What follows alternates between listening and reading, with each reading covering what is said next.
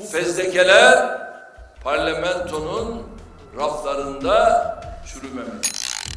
Dokunulmazlıklar meselesini süratle neticelendirmeliyiz. Parlamento bu konuda adımını süratle atmalıdır. Dokunulmazlık meselesinin bir an önce halli gerekir. Dokunulmazlıkların kaldırılmasını gündeme getiriyoruz. Şimdi dokunulmazlıkların kaldırılması deyince yani milletvekillerine dokunulmazlık kalksın gibi bir şey anlıyorlar. İşin aslı bu değil.